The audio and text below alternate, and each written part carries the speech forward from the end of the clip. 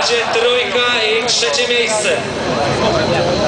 Sebastian Ułamek pole pierwsze, pole drugie Adrian Miedziński, który również e, tak jakby chciał pojechać ten bieg na przełamanie. Niezły początek, e, drugi start e, nieudany, a teraz starał się odrobić zaległości.